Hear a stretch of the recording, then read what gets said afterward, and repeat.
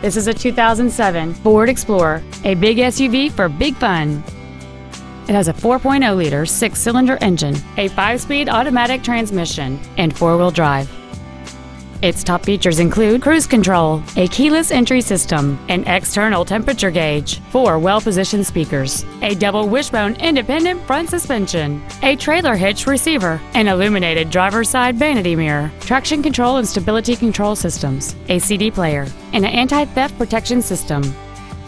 Please call today to reserve this vehicle for a test drive. For everyday low pricing on new and used Ford cars and trucks, visit Mac Haik Ford. We are located at 10333 Katy Freeway in Houston. You can reach us at 800 280 2375